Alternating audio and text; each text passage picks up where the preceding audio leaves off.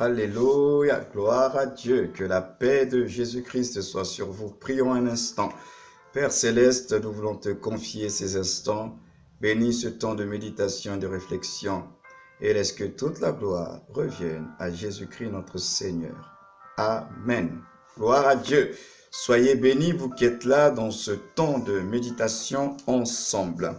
Aujourd'hui, nous allons partager sur Genèse chapitre 39 et nous allons lire à partir du verset premier pour bien situer et comprendre le contexte de notre histoire. Quant à Joseph, on l'avait fait descendre en Égypte et Potiphar, l'officier du Pharaon qui était chef des gardes, un Égyptien l'avait acheté aux Ismaélites qu'il y avait fait descendre. L'Éternel fut avec Joseph et la réussite l'accompagna. Il habitait dans la maison de son maître égyptien son maître vit que l'Éternel était avec lui et que tout ce qu'il entreprenait, l'Éternel le faisait réussir entre ses mains. Et Joseph trouva grâce aux yeux de son maître.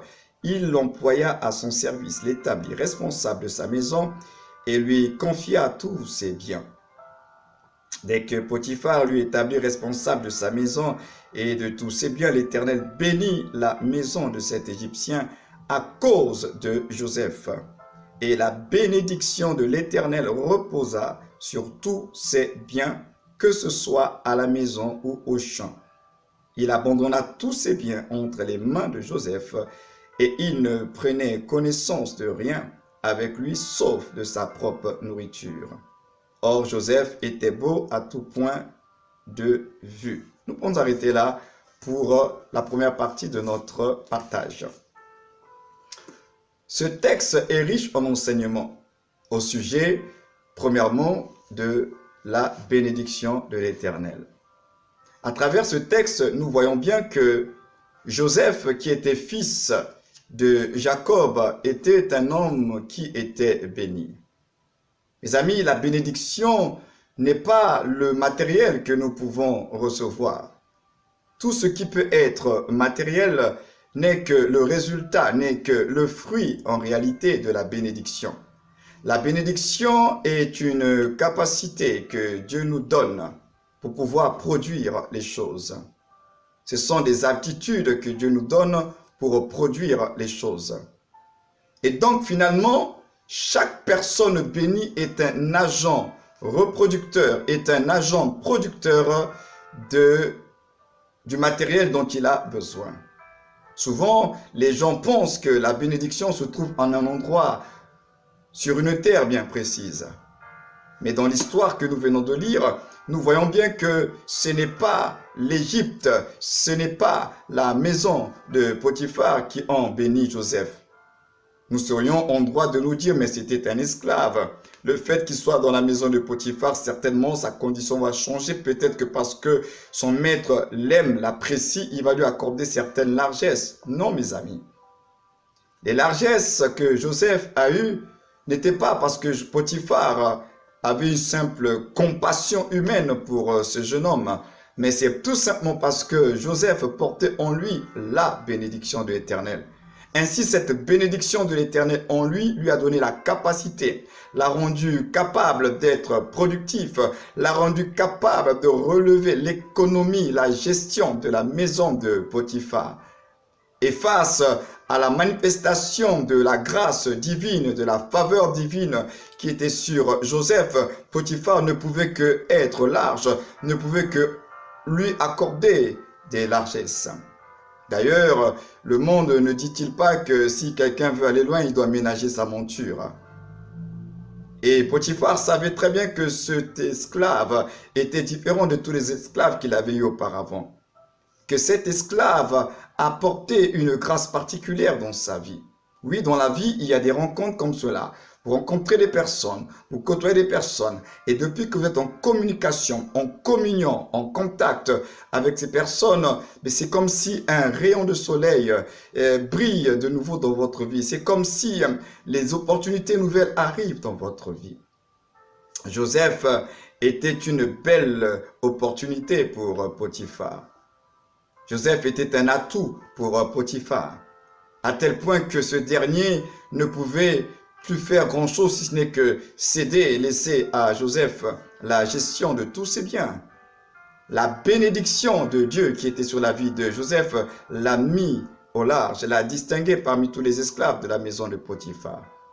Donc j'aimerais dire à une personne qui me suit, qui est connectée avec cette vidéo, la Bible déclare dans Éphésiens chapitre 1er à partir du verset 3 que nous sommes en Christ bénis de toutes sortes, toutes sortes, écoutez-moi bien, toutes sortes de bénédictions spirituelles dans les lieux célestes en Christ Jésus.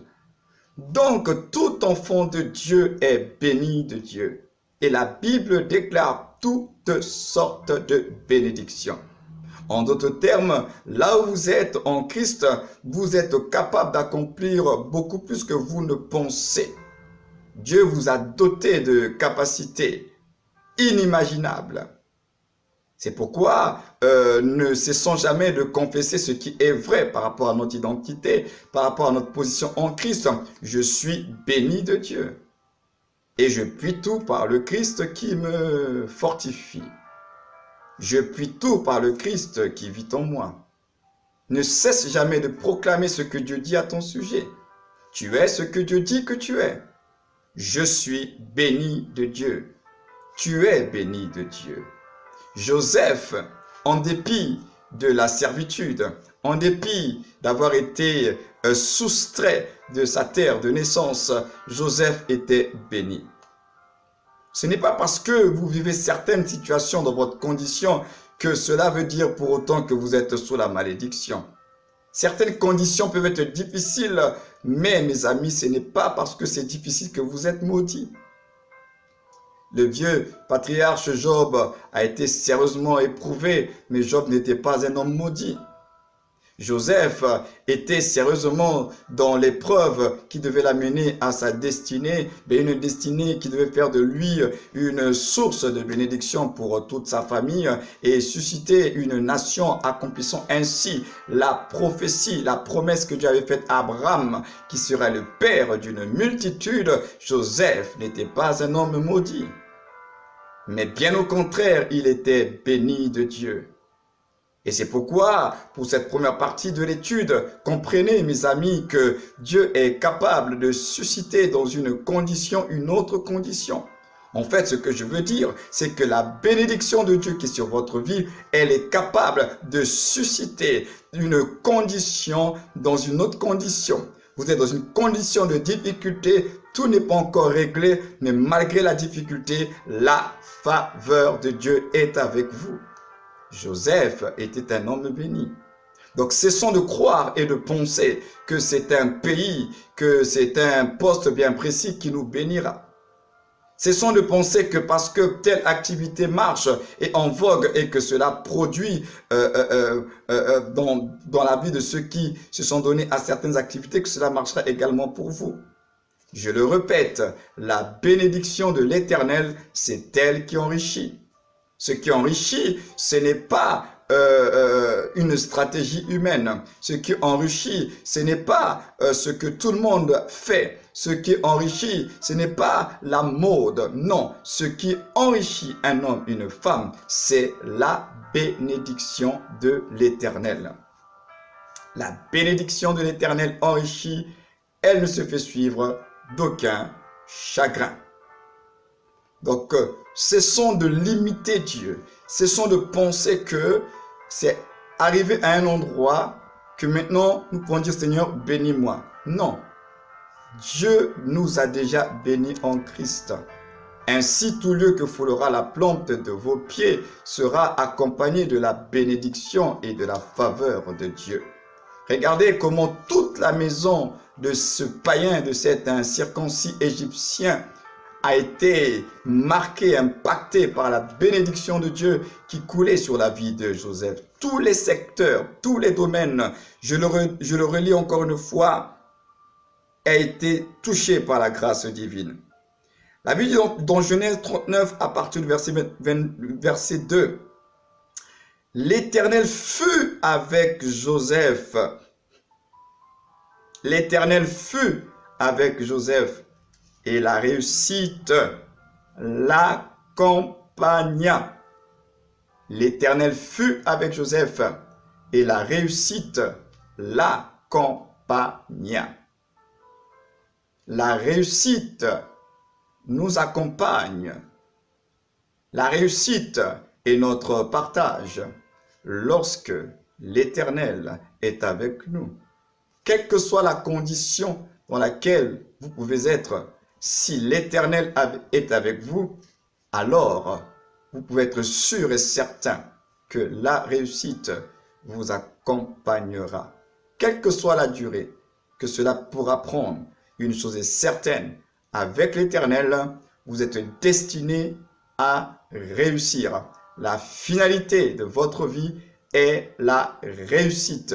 Bien sûr, seulement ici, vous demeurez attaché, vous demeurez fidèle, vous demeurez soumis, obéissant, vous pratiquez sa parole, vous craignez son nom. Alors, la réussite vous accompagnera parce que l'Éternel sera avec vous. La Bible déclare qu'il habitait dans la maison de son maître égyptien. Et son maître vit que l'Éternel était avec lui et que tout ce qu'il entreprenait, l'Éternel le faisait réussir entre ses mains. Son maître, qui était égyptien, qui adorait des faux dieux, a constaté que la vie de cet homme, il y a quelque chose de particulier que même nos dieux égyptiens n'ont pas. Il vit bien qu'il y avait une faveur particulière dans la vie de cet esclave.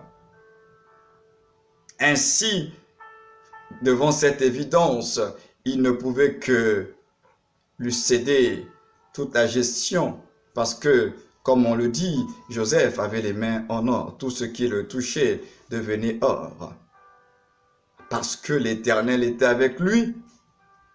Parce que la bénédiction de son père Jacob était sur sa vie la bénédiction d'Abraham était sur lui et ainsi tout ce qu'il pouvait entreprendre ne pouvait que réussir. Et la Bible dit que dès que Potiphar lui établit responsable de sa maison et de tous ses biens, l'Éternel bénit la maison de cet Égyptien. Voilà, on augmente la responsabilité de Joseph et Dieu accompagne le changement de statut de son serviteur, établi responsable de toute la maison, Dieu bénit davantage cette maison. Et on dit que c'est à cause de Joseph. Donc la source de la richesse, la source de la bénédiction de la maison de Potiphar, c'était un homme, c'était Joseph, l'esclave, l'insignifiant, peut-être le rejeté, mais celui qui était esclave, qui pouvait être certainement maltraité, mais c'est sur lui que se trouvait la faveur, c'est sur lui que se trouvait la bénédiction. Alléluia. À cause de Joseph, à cause de Joseph, l'Éternel bénit la maison de cet Égyptien. Et la bénédiction de l'Éternel reposa sur tous ses biens, que ce soit à la maison ou au champ. Alléluia c'est la bénédiction de l'Éternel qui enrichit. C'est la bénédiction de l'Éternel qui enrichit. C'est la bénédiction de l'Éternel qui enrichit. À cause de Joseph. À cause de cet homme d'alliance. À cause de cet homme de la promesse. À cause de cet homme de la destinée. La vie de Potiphar a changé radicalement. Oui, puissons l'Éternel nous faire rencontrer ces Joseph et puissons-nous également être ces Joseph afin d'être des sources de bénédiction. Dieu t'a béni, Dieu est avec toi pour que tu sois une source qui va bénir les autres, afin qu'à travers la faveur qui accompagne ta vie, les gens puissent reconnaître la grandeur, la puissance du Dieu que tu pries. Soyez bénis et encouragés, demeurez attachés au Seigneur et je vous dis à très bientôt. Shalom.